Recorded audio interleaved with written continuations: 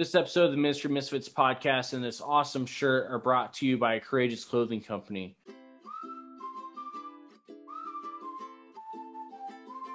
Courageous Clothing Company is a Christian family owned business that specializes in custom designs that they create as well as bulk screen printing of your custom designs as well.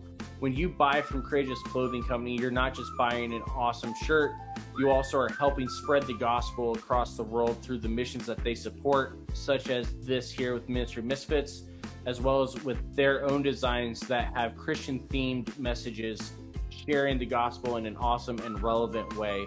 Or as we say within CSRM and Ministry Misfits, strategically relevant evangelism. Check out their entire line at courageousclothingcompany.com.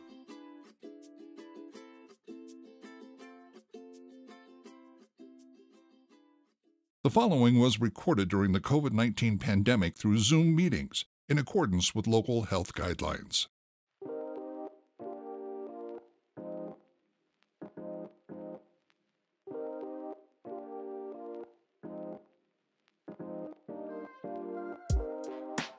my father was a pastor before I was born and during my adolescence.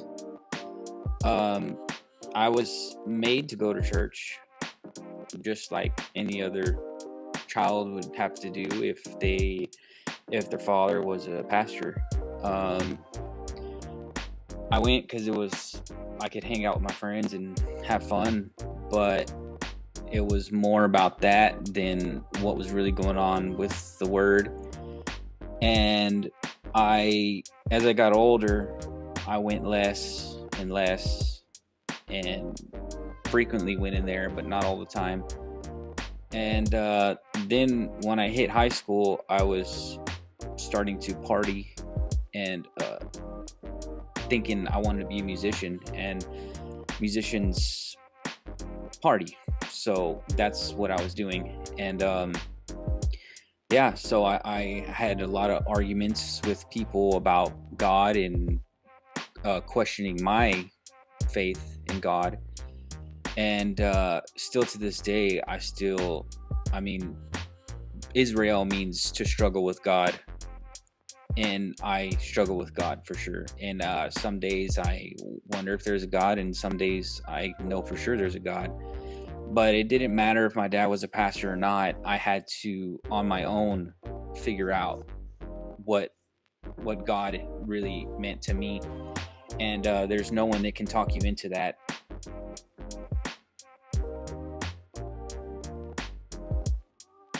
Hi, welcome to another Ministry Misfits podcast. I am the Ministry Misfit Andrew Fouts. This is episode number six, I believe. We're already up high enough that I've lost count, which is not a good sign.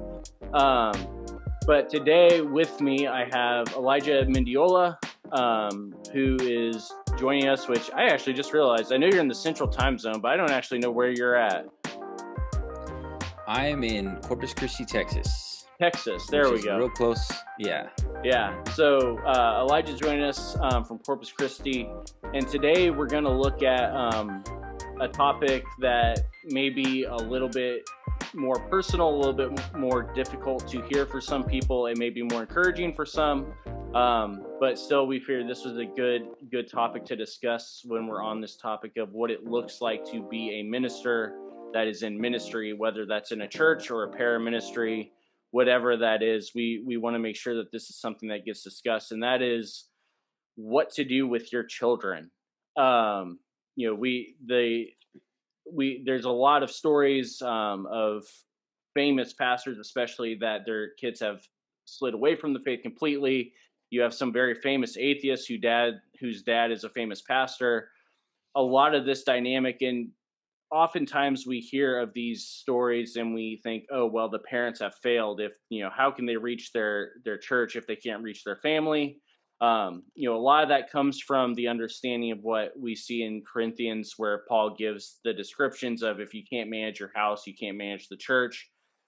But there's a much bigger piece to all of this, and that's what we want to unpack today. And that's about the whole idea of whether or not the parent is responsible for the salvation of their children. um, and especially what that means and what that looks like for those of us that have children and are in ministry. So, Elijah, welcome to the Ministry Misfits podcast, and uh, looking forward to seeing what what we can discuss today. Um, well, thanks for having me, Andrew. Yeah, yeah. So, um, you you kind of gave us a little bit of a brief. Those of you that actually listened through the intro instead of just skipping ahead, um, you you shared a little bit about the fact that you you know you were a PK growing up. Um, you know, dad was a pastor. Um, you though wanted to go into into music. Uh, what do you play, by the way? I'm a multi instrumentalist. I play drums, bass, vocals, and guitar. Uh, my main focus is guitar, but I can shred on all, all fronts. so my main thing was guitar. And uh, as when my band fell apart, I was like, well, I guess I need to learn the drums too. So I, then I started picking up the drums, and now I have full blown songs that I just make by myself. Nice. I and, may uh, I've played in. I yeah. I, I may I may have a uh, teenage kid that I've been talking to that I may want to connect you with. He's trying to get kind of his own production thing going as well. But that's a whole nother topic for a whole nother podcast. Yeah, that's a whole nother can of worms, man. Yeah. Uh, I spent years trying to figure out how to just get it on the computer. Yeah. Because I would I would record with an old tape deck and I would just hit record and record on a, a cassette tape and then put a second cassette tape in there and try to record over that but that was like early 2000s and now it's all digital and it's you, you were easier. still you were still using cassette tapes in the early 2000s that that alone is worthy of its own podcast episode um yeah I so know. just you uh you shared that you uh you know you were a pk growing up um went yep. wanted to go to music and so this is where in a lot of ways this is where a lot of the stories of you know what was being referred to now as deconstructed Christians start of where you wanted to go one route, your parents were wanting you to go another, or at least your parents' church may have been wanting you to go another. Um, but give us a little bit of insight in that. What what kind of what was the reaction from you know your parents from your parents congregation um, you know all that kind of stuff. What was the reaction when you started moving more away from the church? Um, and you know what what did that what what kind of stuff happened there? What did that look like for you? Well my dad he was a uh, minister but he also had to work full time in the oil field. So um, he wasn't able to close tabs on us even even if you tried because i don't know if you know but the oil field you usually work 10 plus hours a day mm-hmm. pretty much every single day and uh we got to the age where uh we started hanging out with people that were drinking already and so um i started drinking probably at the age of 14 and smoking pot if i can say that i mean mm-hmm. just full cannon and um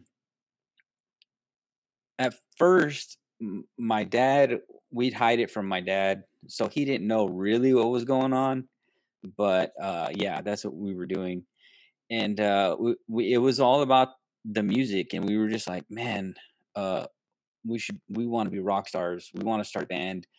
Uh at the back of my mind i was still a christian but I always felt that Christianity was like one of those things where you could just say, okay, I accept God, I'm saved, I can do whatever I want. You know what I mean? Yeah. Like I can sin, I can do whatever I want. Cause in, a way, in, in a way, it's it is true, but at the same time, you um once you accept the Lord, you don't want to be doing those crazy things, you know, just for some conviction uh, there. Yeah. Right. Exactly. Yeah. It's yeah. the conviction and then and then uh, you stay up all night partying and then my mom asked me to go to church and then i go to church and i'm just like sitting in church like oh man this is crazy because like i'm on drugs and i'm sitting in church right now and um, it's just i don't know it, it feels like uh there i was living two separate lives you know? Like one life i was trying to be this musician which I thought was going to happen no matter what, and uh, it ended up not happening. I mean, I'm still a musician, but it, it, I didn't start making serious money and and most people don't and um but that was hard to accept and I, I still haven't fully accepted it as i'm still making music but i kind of already know it's just not going to happen and um but the thing is uh i would always get drunk and um talk to my friends like like uh try to preach to them drunk and they're like dude you you're drunk and you're trying to tell me that i'm supposed to be a better person and believe in christ and stuff and i'm like i like i'm like i know but uh um that has nothing to do with it and and it goes back to one of those things where it's like well practice what you preach or or it gives that bad look you know that uh oh, this dude's supposed to be a preacher's son and he's getting drunk. So that kind of gives a bad vibe to someone that's potentially wanting to listen to me, but he gets that, you know, like, hey, uh, this dude's no better than me. He's getting drunk and high, and he's trying to tell me about the Lord. So it it um and that happened a lot. And uh I just eventually I just kind of uh well, now I'm nine years sober. Nice. I haven't even had a beer. Yeah, I haven't even had a beer in nine years, and uh, a lot of my friends still drink, and it's just they call me boring now, and they're like, "Dude, you were crazy. You'd probably be dead right now if you kept drinking." And I'm like, "Yeah, I probably would have been because I was the the wild one." But back to uh, the Christian thing, my dad he he he didn't like it. He um he wanted us to love God and go to church and do all these things. And and, and we did because I have a brother and two sisters. And we did love God, but we uh we just did our own thing. And he tried to keep us in the church, but uh and we did go to church, but it's still, you know, that that didn't stop us from wanting to party. And I feel that um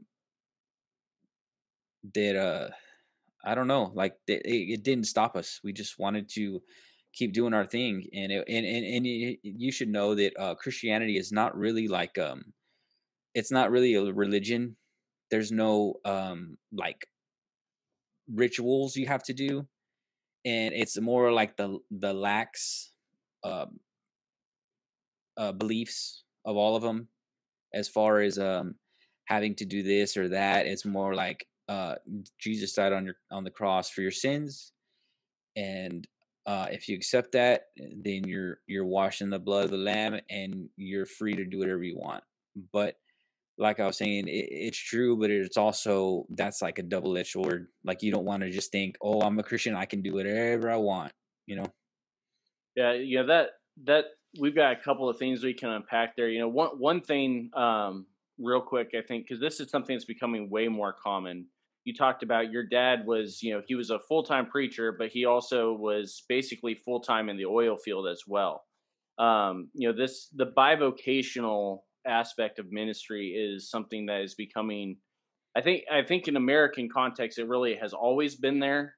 Um, you know, even going back to like you know the Little House on the Prairie type things where, yeah, everybody recognized this guy was the Reverend, but the town wasn't paying him enough to live on. He was, I'm sure, you know, there were other things that right. had to be going on.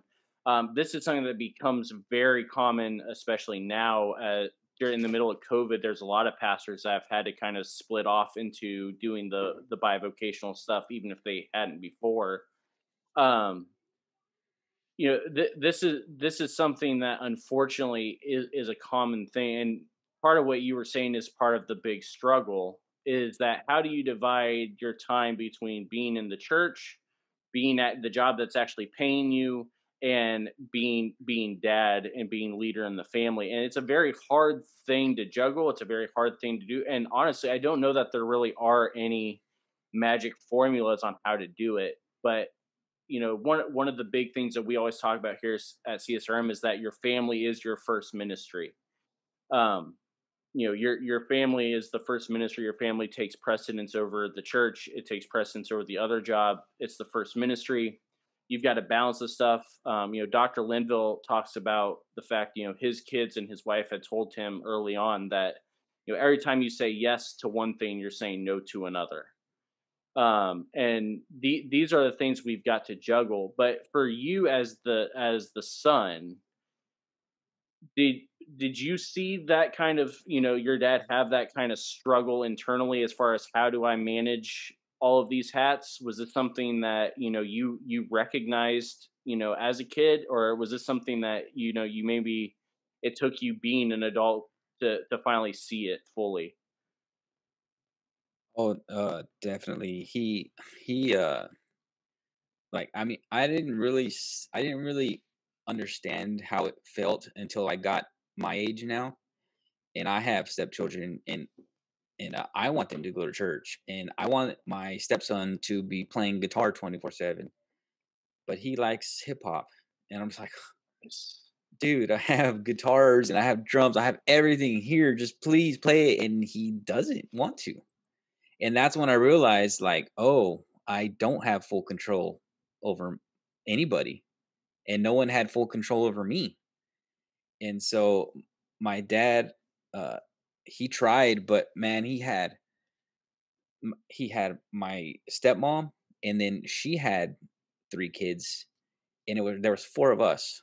So there were seven of seven of us in the house plus his wife plus a full-time job plus trying to teach and I, I don't even know how he got close to managing us and um by by no fault of his own um we just ended up being wild childs and uh um it got dark uh it got really dark and um i mean there's light at the end of the tunnel but um my brother passed away from heroin Hmm. about 3 years ago uh and it's it's hard to it's hard to think about what my dad has to go through and uh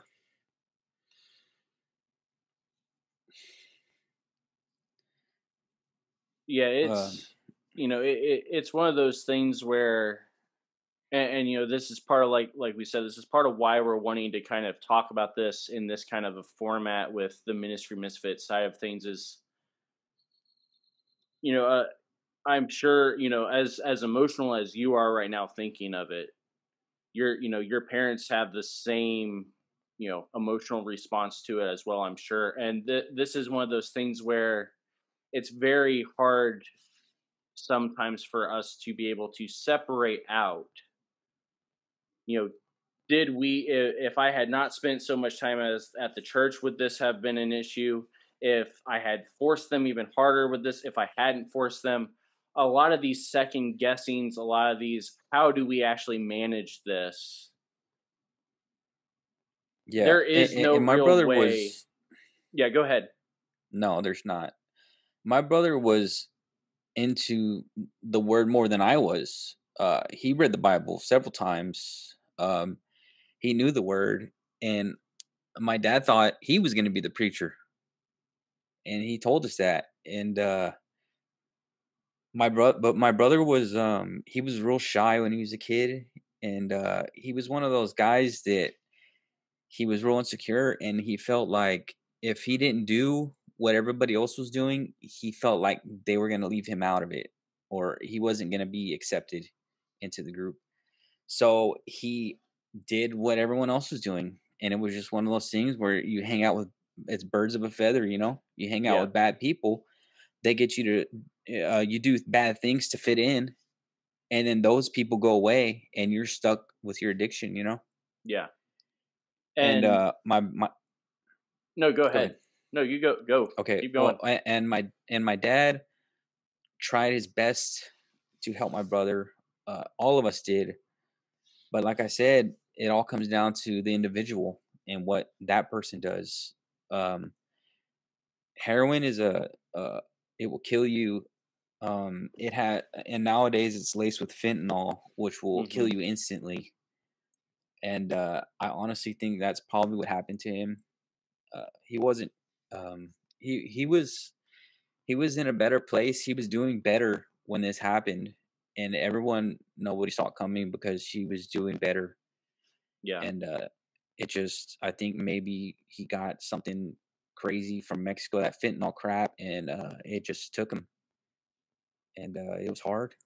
And that that story alone is one that I'm sure anybody listening has some kind of being able to relate. Maybe it's not a family member, but you know, the heroin epidemic is something that's growing increasingly more and more. Um, you know, it's overtaken some of the other drugs that used to be at the the top of the list, especially for overdoses. But and, and this is just you know this is a side note. This isn't even what we we're, we're on here to talk about. But this is something where you know churches. This is a perfect place for you to be able to get involved um, in your communities is that you know the drug epidemic is is real it is massive it does you know it, it takes lives you know there there are ways for you as a church to be able to minister to this um, you know there there are different different groups that you can host um, they don't even have to necessarily be bible based but if they're helping um, I know the church that my wife and I were at before we we ended up in Cleveland and Canton was doing. They were hosting the local Narcotics Anonymous group. Um, you know, there was no questions asked, mm-hmm. no no expectations. We put out the coffee and the soda for them, and we just let them meet. And it it had a major impact on the way that the community viewed the pastor and the staff there at the church. As far as you know, they actually will let us come in, regardless of what we had done over the weekend um, you know, so that that's a whole yeah. nother topic, and you know, one that maybe we'll cover cover later on. But um, you know, back back yeah, to I'd you, like to talk about that too. Yeah, back to back to your your story where where you're at here. So, you know, we, talked a little bit about you know your dad was was a pastor. He was also bivocational. He also had a very large family, mm-hmm. and the, you know yeah. this is a very common common uh the math word that I can't think of now. Um, common, you know, problem that we see, common common denominators, all those sort of things, where we have a lot of these kind of situations going on in, in our churches, whether it's the senior pastor, or the music minister, or the sports minister, or whatever. Yeah. There are a lot of these different things, and especially those of us within the sports minister world, where normally, if we are full time at the church, we're wearing three or four different hats if we aren't full time at the church, that means mm-hmm. we are working other jobs. This becomes very chaotic. Yeah. The important thing, and I, you can correct me if I'm wrong. The the thing that is important for you to remember is the fact that your kids know, your kids see the fact that you, you know, you're struggling with this. You do not have to put as much pressure on yourself as you probably feel like you need to. You know, you as the as the parent just need to focus in on being the parent. Um, you know, yes, your first ministry is to your children and your family, but um, our pastor that you know we we go to Third Street Community Church at the moment. You know, Corey today, one of the things that he said that he got from one of his his mentors is that you want to be famous in your own house. Um, you know, at the end of yep. the day, it doesn't matter what the community thinks. If your family is there supporting you and your family sees you and you're honest with your family, that is going to have more kingdom impact than the things that you're doing doing elsewhere and it just because you're doing that though does not mean that you're going to get the results everybody thinks you need to and that kind of picks back up with where we're at in your story. So you uh you know you and it sounds like the your your some of your other siblings also you know kind of had moved away from the church a little bit. Um you were more in the music scene. Um you know there were a couple couple drug alcohol things which praise god you're sober now congratulations mm. on nine years because that's a oh, major yeah. major accomplishment in it in and of itself mm-hmm. um but walk us through a little bit you you started talking about um with your brother and you know that there was some very dark periods that were coming up um you know get you don't have obviously only share what you feel like sharing you don't yeah, need yeah, to sure. share anything too yeah. deep or too too hurtful or anything like that but yeah give us give us a little bit of insight as to this process because right now this sounds like a very sad depressing story but ultimately that's not actually it, what it we're is. here to talk talk about is that it wasn't yeah sad sad process depressing process but the story itself is, actually not that well, that sad of a story. So give us a little bit of insight of where where we're at so far in your story. Well, God said that we are going to struggle. Uh, it's not going to be roses and rainbows, you know. Um, we don't have to suffer, but again, God gives us free will, so we have to do whatever that uh whatever we feel like we have to do. And um when I was younger, I would I would party a lot and uh I just felt like it was it was a dark time cuz I was doing okay, but in the back of my mind I was like I didn't want to drink. I didn't want to do drugs, but I just kept doing them. Uh, and uh, sometimes it was fun, and sometimes I got thrown in jail or got in a fight. And those are the nights when I really look and say, okay, I need to weigh the pros and the cons. I need to see what is uh, more important and where my life's going to go. And it wasn't me talking to myself. I was basically talking to God, asking Him, "What do I do? Uh, you know, I want to quit. I'm trying to quit. Um, is it possible to quit when you everyone you know drinks and does drugs?" And uh, eventually, I just felt like. Uh, I just one day I I don't even know why or how I just said okay because I, I, I consider myself a, a, um, a mentally strong person, and uh, that's in and itself is a major major problem. If you ask me, as far as people uh, controlling their lives, because you can tell when someone's mentally weak. And, and, I'm not trying to be mean or anything, but uh, some people just don't have a strong will, and I don't know if it's uh, well, I know it's God, but if fully it has to be on yourself also to be able to be mentally strong. And I've always, I, I was always that kind of guy that I, I, wanted to be the best at everything. So I try to be the best skateboarder because I skateboarded for like 15 years until I tore my ACL. I wanted to be the best guitar player. I wanted to be the best drummer. I, I just wanted to be the best. And, and that's just my competitive nature. And then I, I was like, well, if I'm going to quit drinking, I'm gonna be the best at it. I'm gonna hundred percent cold turkey, no AA meetings, uh, no pills, no doctors, no no nothing. I'm today's the day. It's done. And I said, I know that uh that um that God can help me break those chains. And I wanted to prove that it can happen. And I wanted to prove that you don't need um AA or uh, drug programs or or uh, psychiatrists or anything. I just wanted to prove to myself and to everyone I know that you don't have to. You can just quit. It doesn't matter. You have the willpower. Uh, God says He'll break the chains of addiction, and uh, I wanted to prove to myself that that was true. And so I just started counting day one, day two, day three, day four, all the way I get to the week. Okay, okay, seven days. It's one week. And then I go, okay, boom, I hit two weeks. And then people would ask me, You want to go drink? Let's go drink, dude. I'm like, nah, man. Uh, I'm not gonna drink. And uh and so I just kept doing that. And then clo- when I got to like 30 weeks, I was like, wow, I'm almost to a year. And so I was like, I'm just gonna keep going to a year. And then I hit a year, and then I was like, man, this is crazy. Uh, my problems went out the window. Uh, I started having more money. My days were weren't as counter as counterproductive.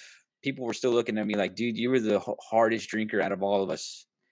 Uh, what's going on? Like, don't you want to go hang out and drink?" And I'm like, "No, uh, uh, I don't, man." And and sometimes like I would go hang out with my friends, and they'd offer me beer, and um, I just wouldn't do it and, and at the end and then, and then the next day when they wake up feeling like crap and uh or end up in jail or anything stupid i woke up feeling great and that was one of the things where i, I proved to myself and to my friends they asked me how'd you do it i just said the Lord broke my chains of addiction, and I still say that, and it feels it feels empowering to say that, and it and it's real, and and I proved that it's real, and I was never addicted on heroin or um any hard drug. Well, I did do some hard drugs, but I think that it doesn't matter what it is, you can quit with the Lord and your own uh, willpower to stop.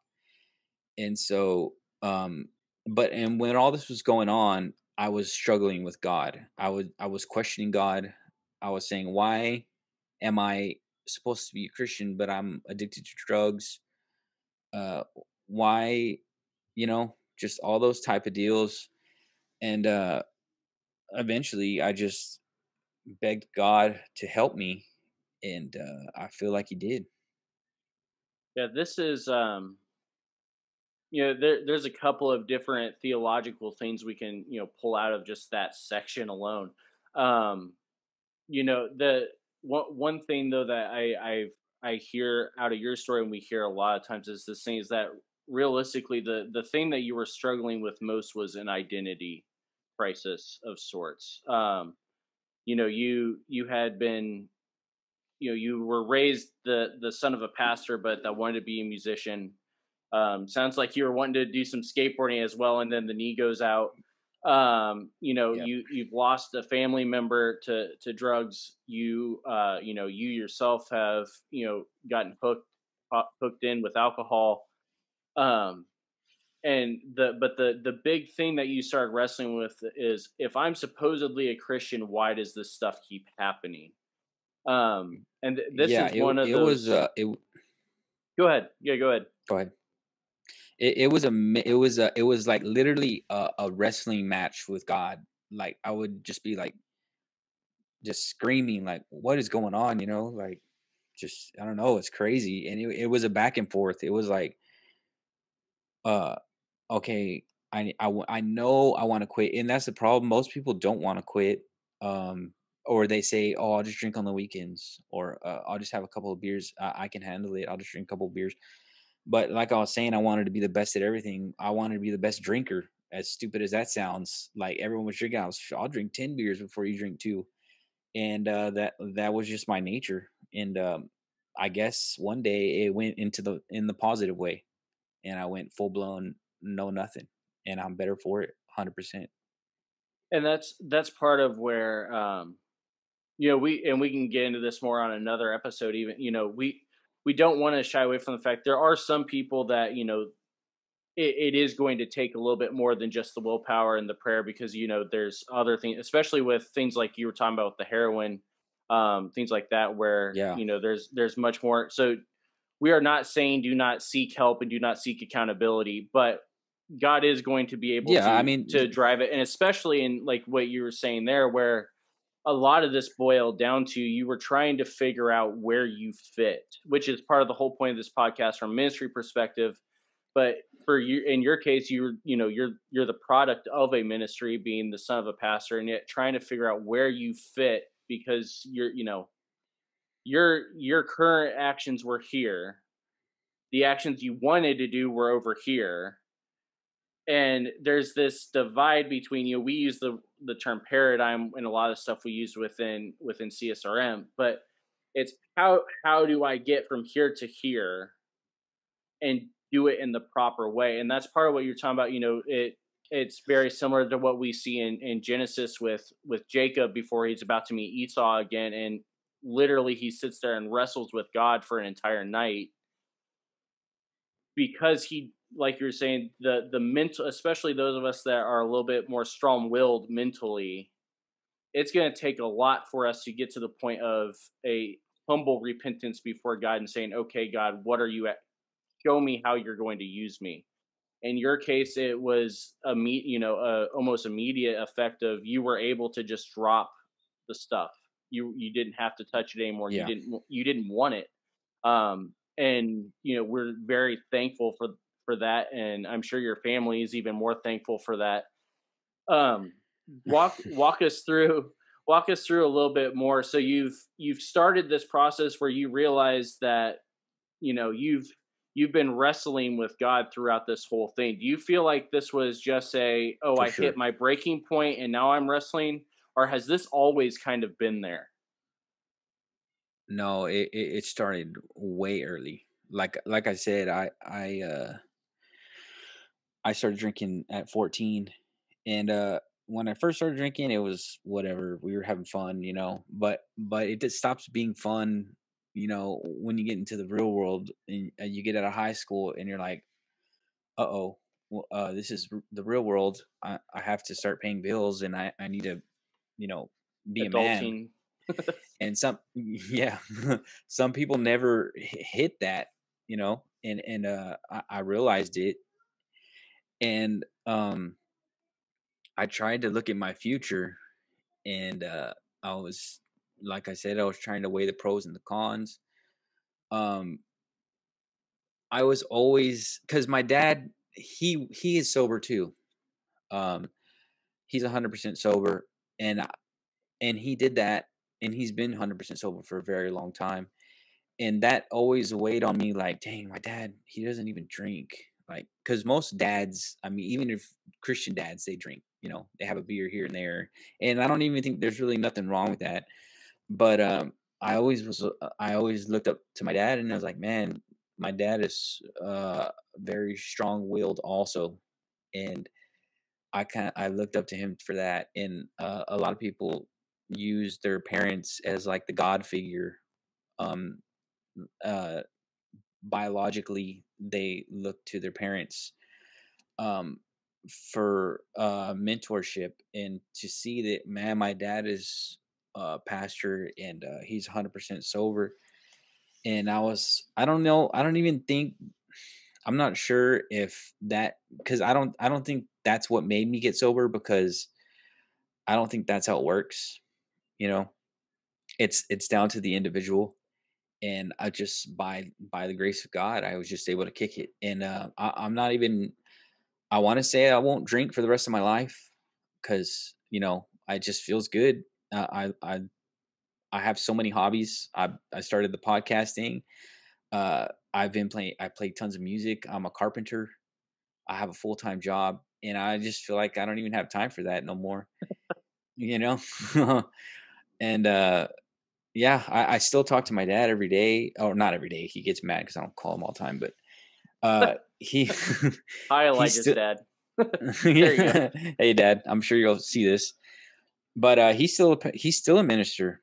He does the uh, he does the morning uh, ministries at a small church here in town, Corpus, called uh, South Crest Baptist. And I, I went to that church my whole life like even when I was a little kid, I went to that church, and it's and, and I still go to that church. Um, now there's pretty much no youth there. It's mainly like older people, but I always thought the pastor was a great pastor, eh, uh, brother Buddy, and he's one of he's actually one of the longest running pastors in Texas. Yeah, he's been uh, preaching for I think almost seventy years. Oh my, yeah. Yeah, he he has like I think he, He- has the record. He's been around a few times, yeah. he has a record like that dude and, and he's a really good pastor and so is my dad my dad blows my mind daily he uh blew my mind yesterday because i had my cou- cousin on um i had my cousin on yesterday on my podcast and he was telling me a lot of things and i was questioning him about because he was telling me about eternal sleep eh, or not eternal sleep, but uh, after you die, you sleep until the resurrection. And I was like, I don't think I agree with that, because we're both Christians. But you know how some people they have different Yeah. interpretations of how things are gonna go. And I was telling him, I'm like, I don't agree with that. And then I and then, but I was almost swayed. I almost was like, well, maybe I I don't know. Um, and then I talked to my dad, and he's like, uh, no, you you when you die it, to be abs to be absent from life is uh to be present with the lord and it's instant. And i was like yeah that sounds about right. And uh my dad is is very smart when it comes to the word and he's and i I feel like uh everyone is trying to interpret the bible a certain way and uh i feel like my dad just nails it on the head like big time. Like I'm always blown away with his uh, insight on the Bible. And this And uh, really is so yeah, uh, he yeah th- this really is down to the heart of what you know we want people to to see as an encouragement um you know you, it's not always going to turn out this way um unfortunately you know there are there are a lot of you know a lot of stories of you know kids of of ministers that they deviate for a while and then they they just continue to deviate and they do never come back Mhm. um but you know there you you're a perfect example of the proverb above you know train up a child in the way they should go and then you know as they grow up they will not depart you know you were trained up in this you still went away but even as you were going further and further away there was still this nagging calling back definitely. um you know And, I think that has go yeah go for it there must be a delay i think we've got a and little I bit of a delay yeah, sorry. no you're and good I think that has to do with yeah, I think that has to do with me actually accepting Christ at a very young age. And I I felt that felt very real to me uh accepting Christ at a at a young age. And uh, I think that's what was always pulling me like a rope. Like he had a rope around me and like I would try to pull away and he just keep pulling me, you know. And so that's how I felt. and, and that's that's really what um and and like you said what what really has narrowed this down for you though is that you know this this is not your dad's faith this is your you know this is Right. elijah's faith this is not your dad's faith and that really is the the big theological framework that we're we're trying to kind of deal with the the philosophical framework we're dealing with here with this topic is you know your responsibility as the parent is not to convert your children your responsibility of as the Right. parent is to train them up to you know get them get them get them in the word if possible but at least get them to people that are going to be able to to help train them up talk to them about you know talk to them about their faith ask them you know th- this is one thing that you know we we've talked about in a youth ministry setting more so than in a sports ministry or any other kind of pastoral setting but even if you as the pastor are the parent and your kids ask you a theological question and you do not know the answer it's better to say i have no idea. Let's look at this together than it is to try to talk through to try to just talk above or try to just give an opinion or whatever it is. If you don't know the answer be honest with it be honest with your kids walk walk this faith journey with them but understand that in in the long run it is going to be up to your children to actually make this commitment for themselves. And if they do actually make this commitment then really that takes a lot of pressure off of us because at that point it's not it we we did our job. If they've made the commitment then they've made the commitment you know we we get to enjoy the fellowship if they haven't made the commitment then that just means we just have to keep praying and continue to be the parent um you know that that's one thing Mhm. that you know you never explicitly said but it's very clear from your story even during all of this dad never stopped being dad um you know there wasn't No. a you know there there was no well you're you're off doing this so you are no longer my son. It was he's he is your dad first. You know you when you're talking about him even now where he's a pastor at the church you attend you refer to him as your dad. You don't refer to him as your pastor. And that is the relationship that ultimately makes the biggest difference in the long run is if you can be parent rather than having to be pastor all the time your your kids are going to sort through this themselves. It may not be pretty it may not be a way that we like to watch it may be heartbreaking to watch.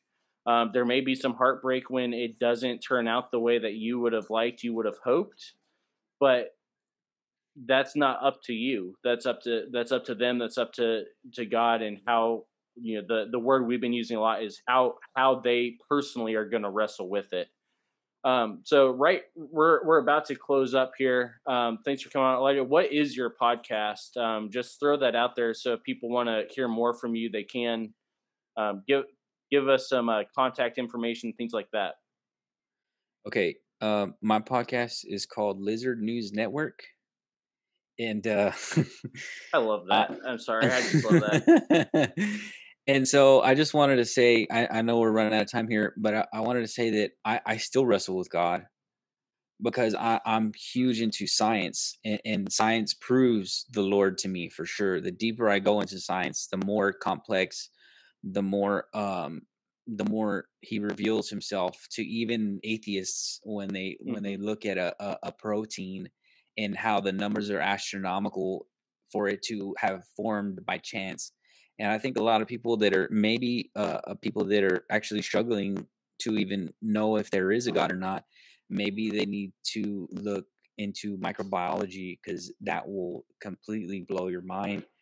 And uh in space and all that stuff just like i said the heavens and the earth profess that i'm god and that's the proof. You say i don't see god. Where's god? Where's he at he's right here dude. Look in the sky look at the clouds look at the uh the the life on the on the earth look oxygen uh the distance from the sun the size of the sun uh, the size of the earth everything is perfect. Yeah mm-hmm. uh, there's a great video called the privileged earth and it explains all that. But um I, I i still struggle and i still listen to other people. I'll talk to an atheist. I'll talk to a buddhist. I'll talk to anybody i i, I want to hear everybody's side of view you know and that way i can even tell them well I actually i'm a christian and i think the lord is is the one the one true god and and uh he is the one he's the way the truth and the life and um i think it, that's that's also a good thing so don't close yourself off to other people that have other other beliefs you know? I said we were done with questions, but I do have one more for you that you say that. Do you, do you think that if you had not dealt with all of this, the struggle, the, you know, the tech, the common terms, you know, the backsliding, you know, whatever you want to call it, do yeah. you think you would be able to have these kind of contacts, this kind of, and you know, we we're big on this here. I mean, overwhelming victory radio, we're big on this here of the podcast stuff is a ministry in itself. Do you think you would actually be able to be in this position if you had not dealt with that?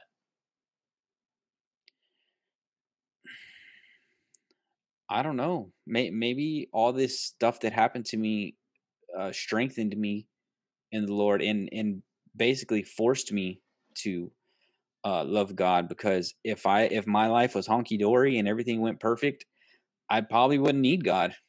It, it, in my mind, I wouldn't need God, and I think that's actually a lot of uh, uh, problems for people, like you were saying, like rich kids, uh, uh, celebrities. They don't. What do they need God for? They have all the money in the world. They have fame.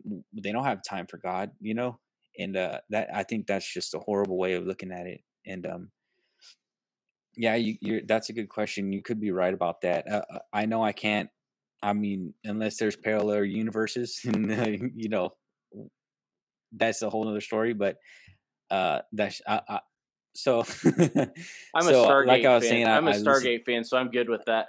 Um, okay, yeah, cool. So where uh, where can they find your podcast, real quick, before we close out? Cool. Uh, um, it's Lizard News Network. You can find it on Spotify and iTunes. Uh, my email is lnn1984 at yahoo.com. Uh, you can email me if you want to be a guest or you have any cool topics you want to talk talk about. Um, I'm open to all sorts of topics, like um, parallel universes. And yeah, everything, man. Dimensions, flat Earth. I, I, I don't believe I don't believe it, but I'll listen to you talk about it, yeah. and I'll give Which, you my uh, opinion. You know. Yeah. So thank thanks for coming on. I'm not sure if this will air before or after, but um, on the topic you just said, um, be on the lookout. Uh, this is both a announcement as a cool thing to be on the watch for, as well as um, a prayer request if this is before if this airs before we have the interview. Um, I have been invited onto a uh, What's in the Bible, which is an atheist uh, podcast show, and we're going to be discussing some different things. Um, we're going to start out talking, you know, what's the deal with the evangelical church and Christian nationalism. Um, and then we're going to move from that into uh, who knows where he, he wants to go with it. So that's a prayer request, but also a, a shout out to say be on the lookout because we'll let you know when when that comes up. So Elijah, thanks for being on. Um, everybody else, we will see you next time.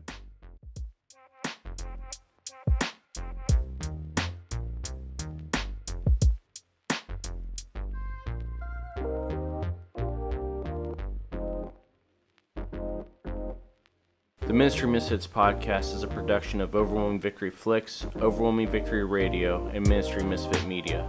Dr. Greg Linville and Andrew Fouts are our executive producers. Our theme music is entitled Rain and provided by Morning Light Music. For more information about Overwhelming Victory, visit overwhelmingvictory.org. For more information on CSRM, visit csrm.org. If you are interested in listening to our sister podcast on the Overwhelming Victory Radio Network, visit overwhelmingvictory.org backslash OV radio.